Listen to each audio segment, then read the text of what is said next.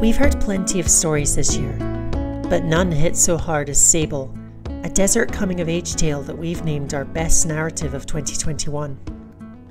There's no existential danger threatening Sable's world, no looming war or ancient MacGuffin to recover. In fact, Sable doesn't really have much of a plot at all, and yet, within an hour of firing up the game, a passing conversation brought me to the brink of tears. Sable follows, well, Sable as she embarks on a rite of passage that sees her leaving her family behind to explore the world and figure out who exactly she wants to be.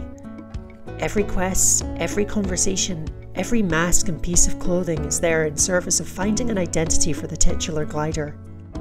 You'll be choosing conversation options and outfitting your bike not because you need to optimize stats or grind reputations, but because it's what feels right for your Sable at that moment.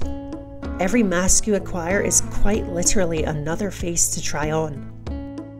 But there's quite simply an earnest warmth to Sable's writing.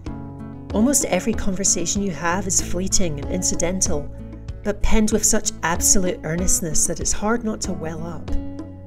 You'll meet an old guard who's chosen to embark on her own journey of discovery late in life, and even the most sour faced shopkeep meets you with the understanding that your gliding is an important moment.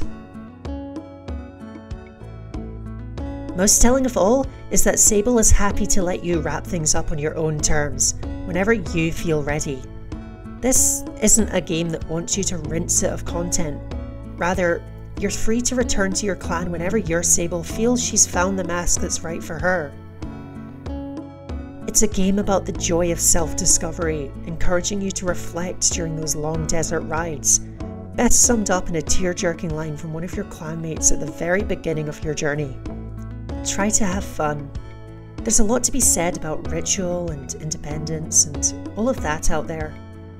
But the world's an easier place if you put joy first.